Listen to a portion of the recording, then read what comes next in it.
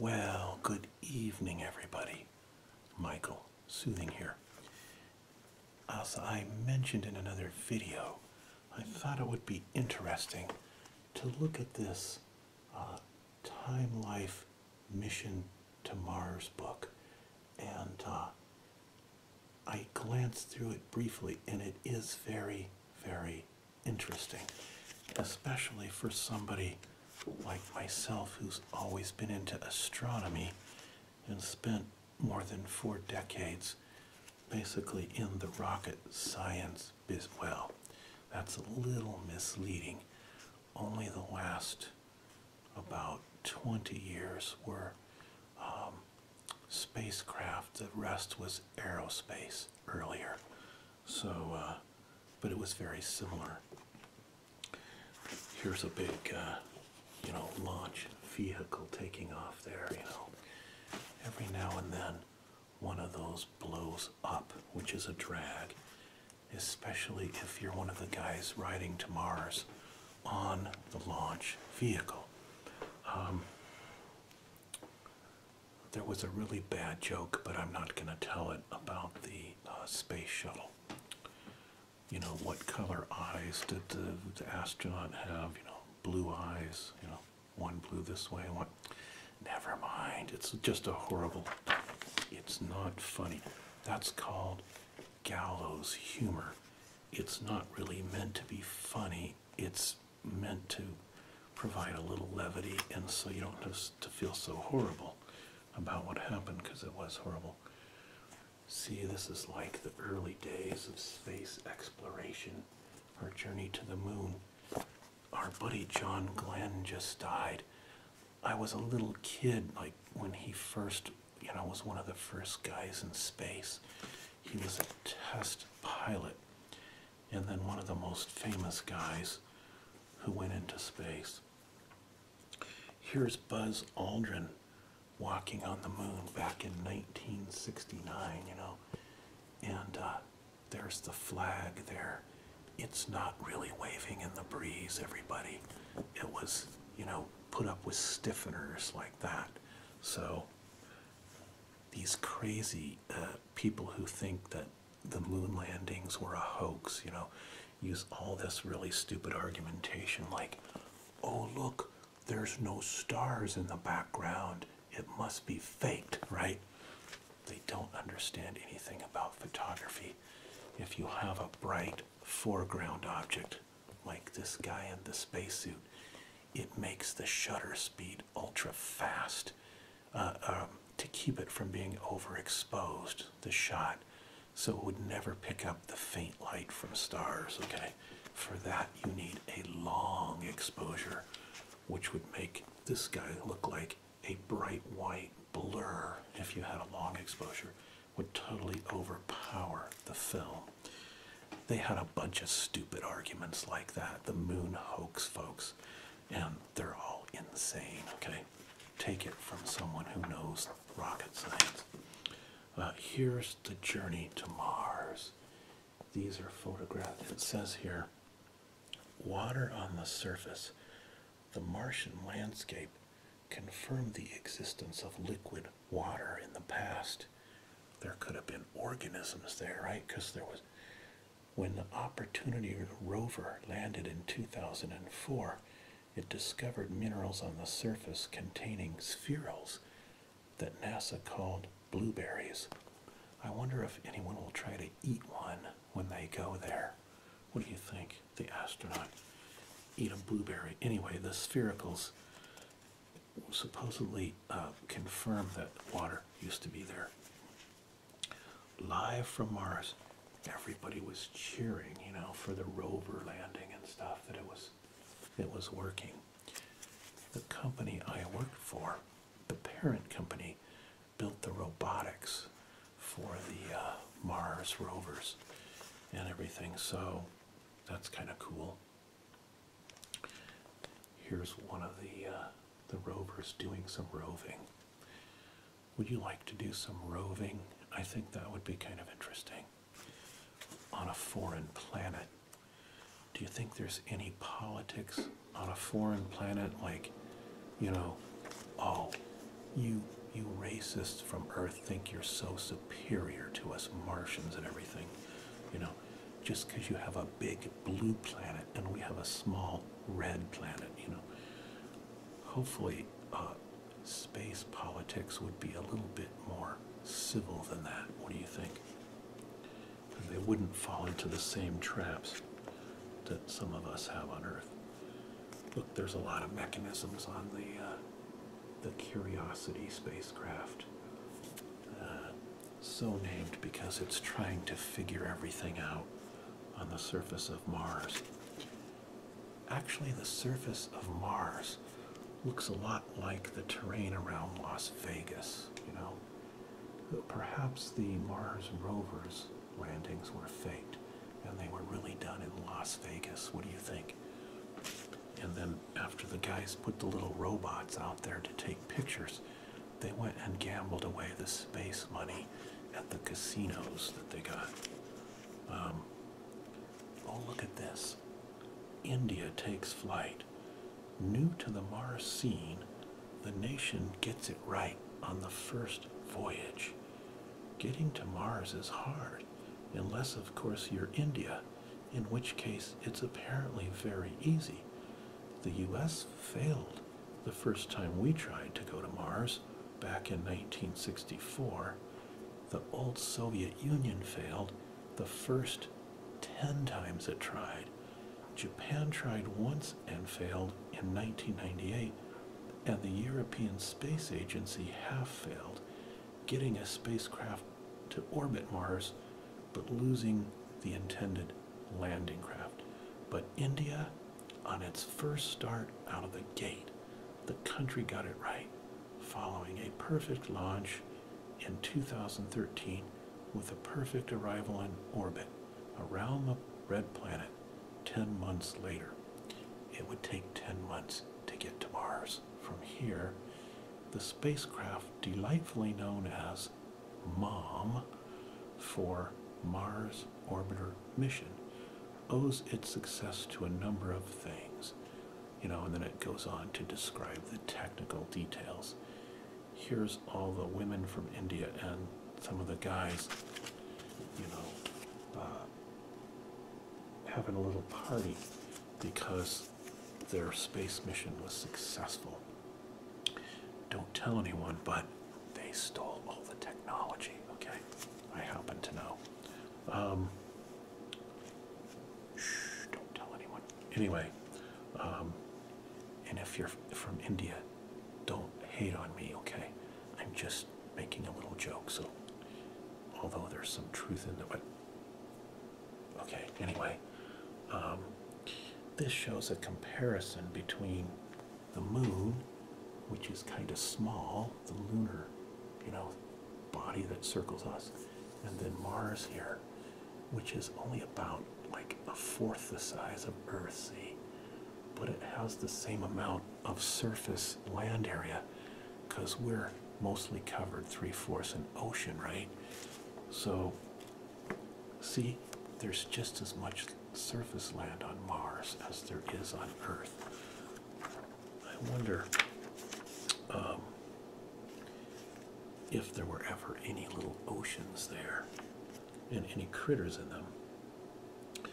Uh, Earth is 93 million miles from the sun, so it would take a long time uh, to walk that distance if you had to walk here. Mars, on the other hand, is 142 million miles away from the sun. So it's going to be a little chilly on the, well, it, it's not going to, there's no atmosphere though. So it's actually going to be hot on the surface.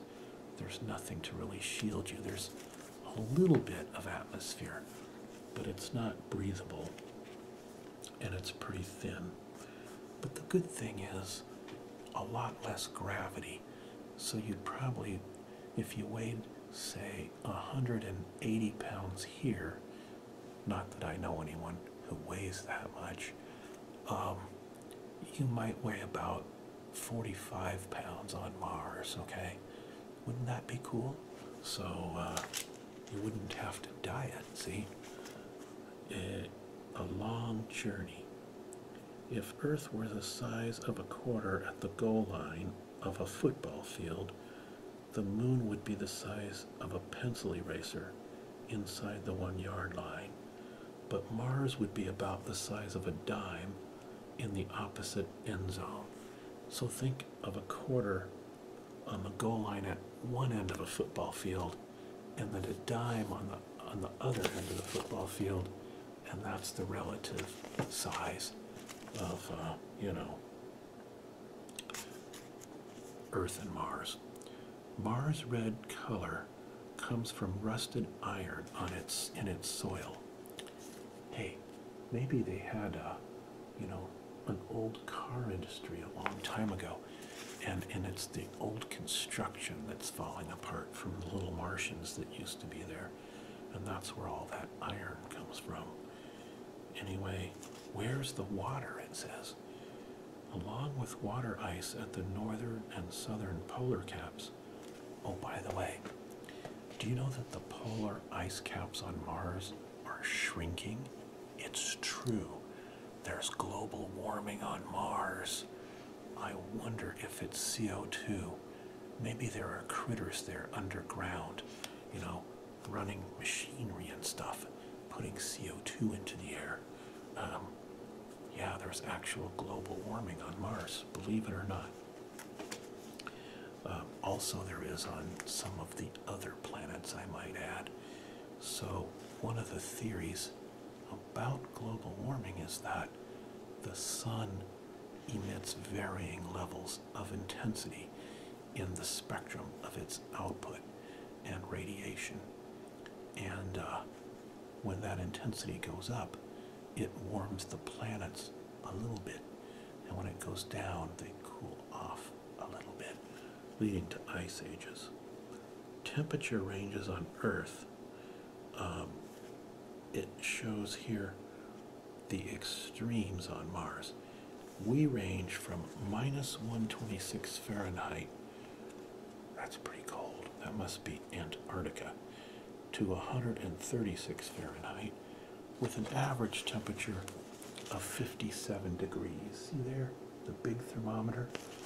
But on Mars, the excursion is much colder, all the way down to minus 284 Fahrenheit. And the average temperature is minus 81 degrees. Wow. So I guess even in the sun, it's very cold on Mars. Um, Mars's moons. Mars has two little moons named Phobos and Deimos. One Phobos is only 14 miles across, you know, just like an asteroid. It's not even big enough to form itself into a sphere, really. And Deimos is only 8 miles across. They're not very big. And a Martian year is really long because it take it completes a revolution around the sun in 687 days.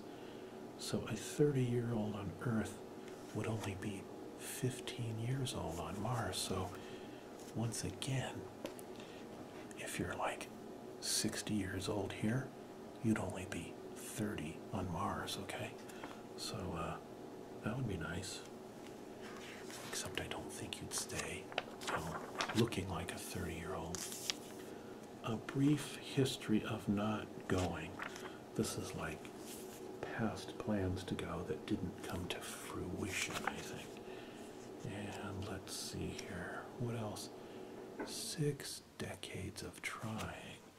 And here are stories about the new refrigerator is a little bit noisy, isn't it? By the way, if you're old enough to remember that show in black and white days from the 1960s, my favorite Martian, then you're as old as I am, okay?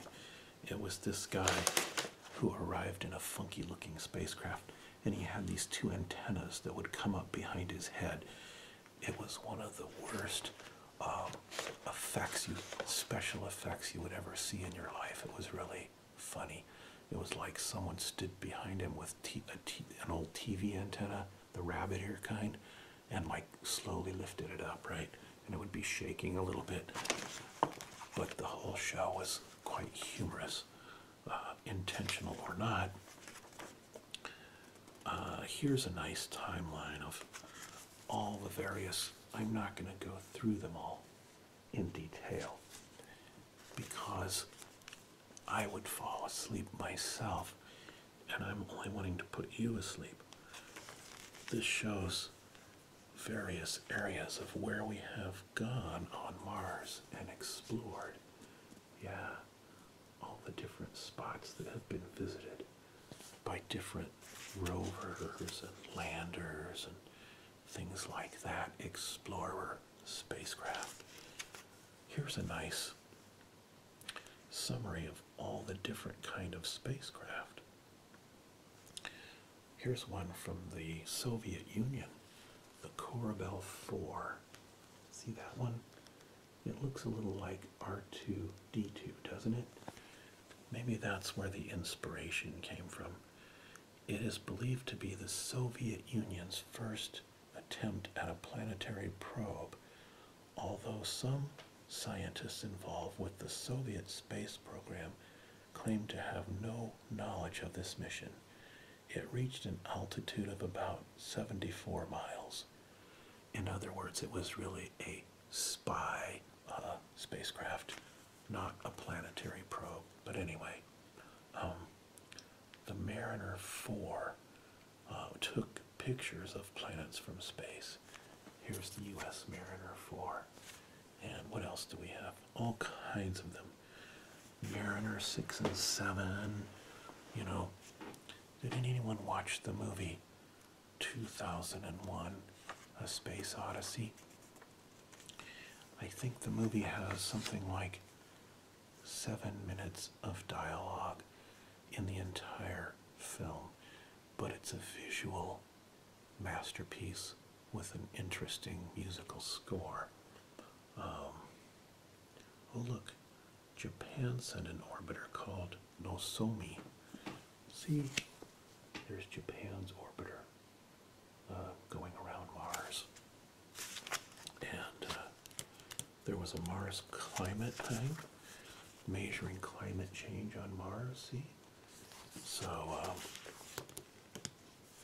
I'm sure it's due to human activity if there's climate change on Mars. Probably the rovers, you know, heating up the planet somehow. Uh, let's see here. Mars Global Surveyor. Oh, look. Mission Possible. About half of all Mars missions have succeeded.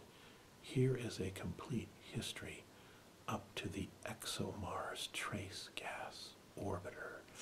And this shows Earth, and these bars represent all the different missions to Mars, some of which succeeded, and some of which, of course, did not.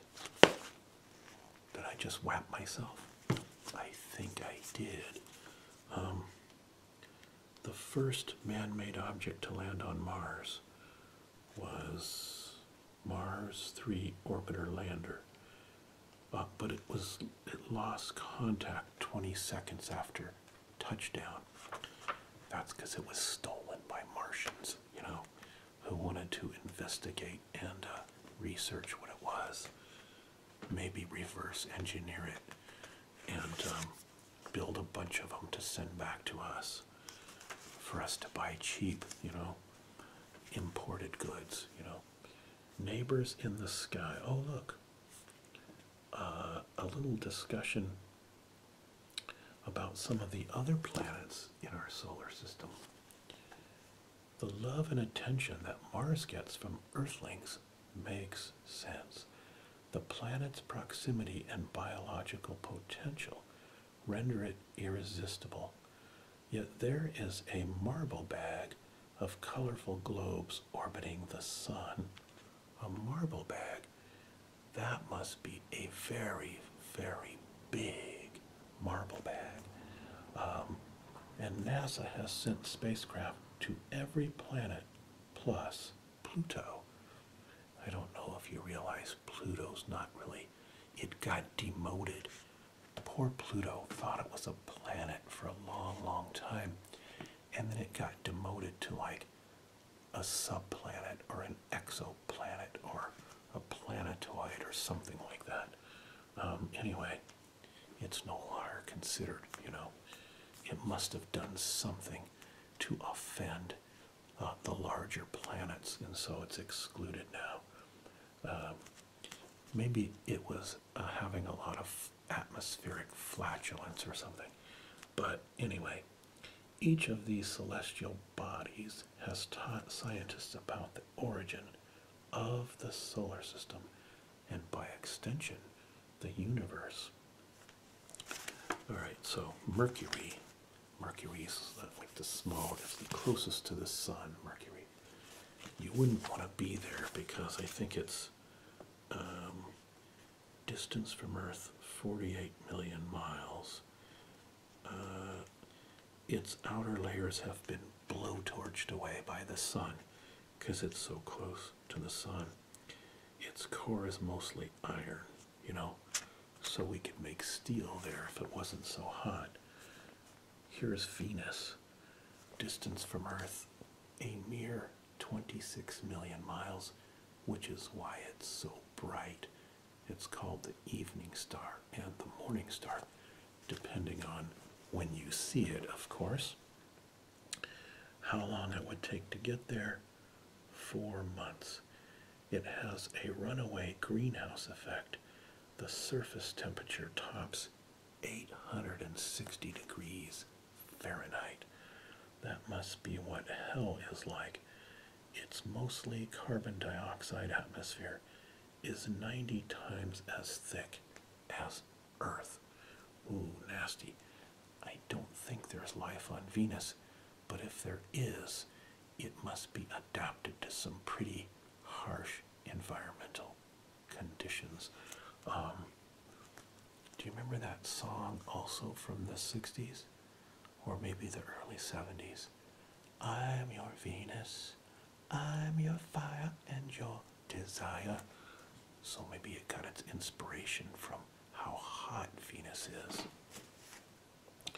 Jupiter, distance from Earth, 483 million miles. I believe it's the biggest gas giant in the solar system, but one of the least dense because it's mostly gas. Have you ever known any people that were mostly gas? I have. They have less mass to them, you know, especially up here. Okay, anyway, Saturn, distance from the Earth, 874 million miles. That's pretty far. Farther than I can walk in a day or two. Um, how long to get there? It would take three years and uh, two months to get there. Remember, in 2001, Space Odyssey, they had a mission to Jupiter that took, yeah, three years, I think, um, before they got all sucked up by the black monolith into the uh, weird celestial acid trip of a star journey uh, that transcended time and space. Uh, good effects for its day, very, very clever. No computer generated graphics then. Stanley Kubrick had to do it all with extremely clever, resourceful, and creative techniques. Um, it was the groundbreaking film for special effects and sci-fi. Okay, do I have to hear any bad jokes about this planet? Do I? Do I have to hear any bad jokes about this planet? Tell me I don't. Okay. So, uh, I like kind of like the color. It, is like a big blue marble, isn't it? Um, not much to it though. It's a gas giant, the victim of one or more space collisions billions of years ago, knocked the planet on its side. A fragmentary ring circles the equator. S- Oh, and Saturn's rings, we forgot the famous rings of Saturn. Um, total 175,000 miles from inner to outer edge, three quarters of the way from Earth to the moon. Yeah, the moon, by the way, is about 220,000 miles away from us. That's pretty far. Neptune. And Neptune is the, is that the Greek god or the Roman god of the ocean? I don't know. Anyway, see how, maybe it's because of how blue Neptune is. It's so far from the sun. It's 2.8 billion miles. So it doesn't get to reflect very much light because it's so far. It needs 165 years to orbit the sun once. So if you live to be 100, you know, you'd be less than half a year old on Neptune. But it rotates really fast. Uh, every 15 hours it rotates, so it's spinning pretty fast. Oh, and bring, it says, bring earmuffs because it is minus 360 degrees, one of the coldest spots in the solar system. Pluto, 3.7 billion miles from Earth. There's Pluto. And uh, isn't Pluto a dog in a Disney cartoon? I wonder how this planet, planetoid or whatever it's called now, got its name. Um, it would take nine years and six months to get there on the fastest spacecraft currently. And uh, it's, oh, it's been demoted to a dwarf planet. Okay? So I think the little people are going to complain about this. I don't know. And then there's uh, some moons that go around Jupiter. 173 moons in total go around all of our planets in the solar system. I didn't know there was quite that many. Did you? That's a lot of moons. Um, one of the biggest is Europa, and uh, I believe that one goes around Jupiter. There's the surface. Some say it's made out of ice, a big ball of ice, and it could have an ocean underneath the crust. Um, and then we have Enceladus, Enceladus, which is also a frozen ball that supposedly could have an ocean of liquid water underneath the crust. Makes for some interesting speculation, you know. Speculation. Crash landing. What's that about? The sharp rim of this impact crater formed when a meteorite hit Mars. See there? I think what they meant to say was see, even the scientists who write books like this get it wrong. A meteorite did not hit Mars, it would be a meteor that would hit Mars. And then once the fragments were like scattered around in the surface crust and became rock, uh, or whatever, whatever's left of the meteor that hits Mars, that's called meteorite. Okay, so this is a frequent error that people make. They look in the sky and go, "Look, a meteorite," you know. So, anyway, NASA's next steps. This will be interesting to Elon Musk in his endeavor to fly to Mars. He wants to be the first man to go there, and his competitors in the car business are all for it. They say, yes, let's put him on a spacecraft tomorrow and send him to Mars. Uh, here's where they train, like, is this in Alaska? Um, earthly astronaut, a simulated Mars base. This is probably in New Zealand or someplace. In habitat, it doesn't say, but see, they have these habitats in some frozen wasteland someplace where they're simulating and training for what it would be like in Mars. A year in space, astronaut Scott Kelly with two cosmonauts returns to Earth near Kazakhstan in March of 2016. Hey, that's when my birthday was. Here they come back down with a giant parachute. All right. Um, what else? You know, juggling would be easy in really low gravity, as this picture indicates. See there? Doing some juggling. What else is in here? How to sneeze in space. That's a little bit of a disgusting thought because if you sneeze in space, the droplets are going to float all around the cabin for hours, right? So it's like they have to have special mechanisms. How space affects the human body, the effect on various organs and stuff. This might be kind of interesting to read. I think my son will be very interested in reading this. Is it possible to get food poisoning from space food? What about heart attacks, etc.? What if you have an appendix burst? Um, yeah, all these kinds of things, you know.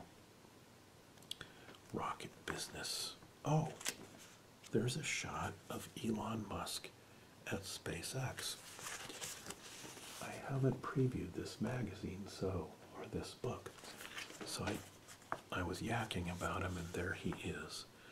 Entrepreneurs and their companies. Can one of these commercial giants get us to Mars?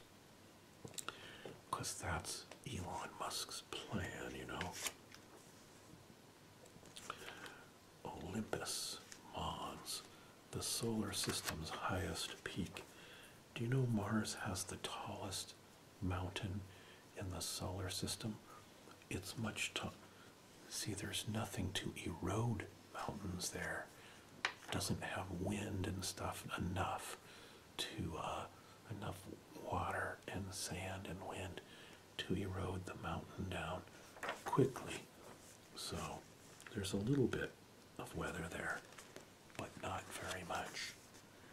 Um, SpaceX, Virgin Galactic, Boeing, leading space companies here listed down there.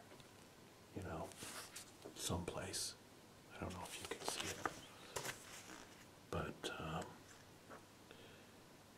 SpaceX has done pretty well, but they've also blown up some of their uh, spacecraft trying to use, you know, sea launch and stuff like that. Mars Allure.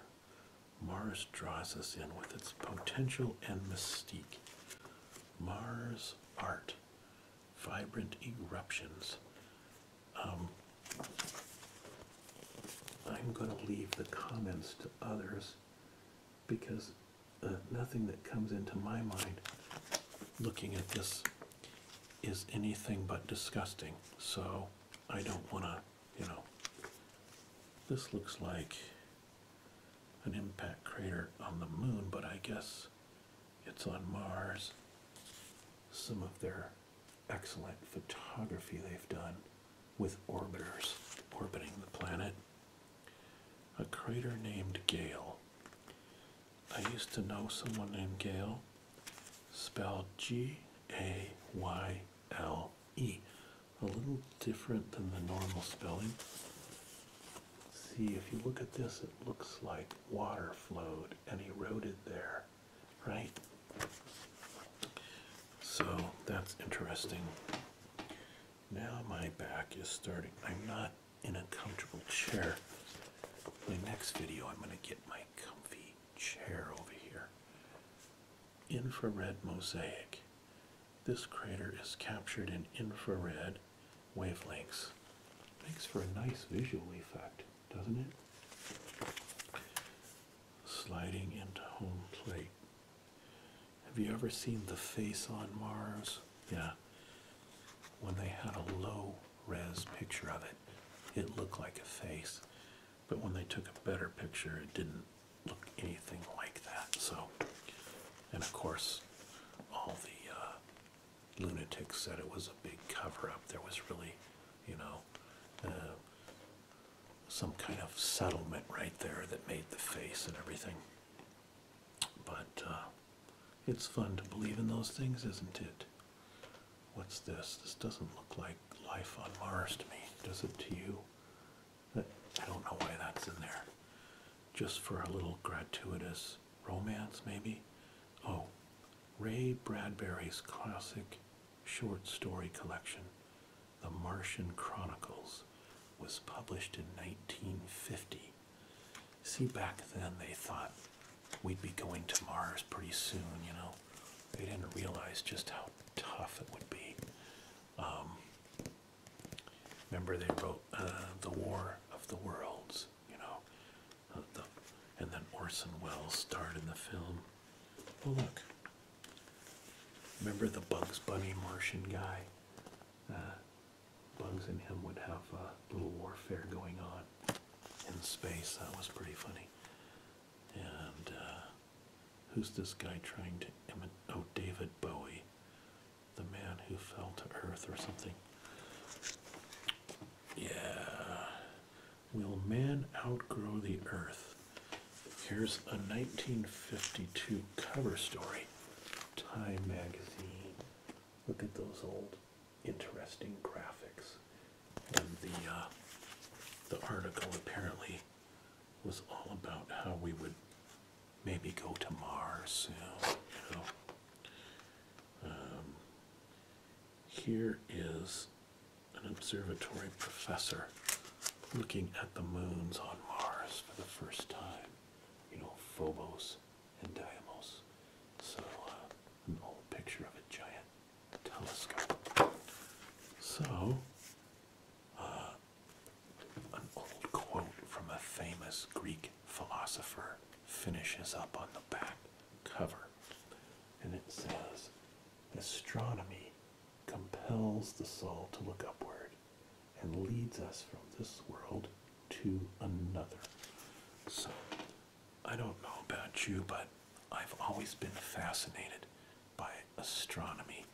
When I was a kid, I had a time life book about the planets, and I used to look through that book all the time and daydream about space, you know, and the universe and everything. So I hope you enjoyed this little foray into um, the red planet, and I hope it has put you to sleep by now. But if it has not, don't ASMR and Drive. We'll be back with more videos. Take care, everybody. Bye bye. Don't ASMR. Oh, I said that already.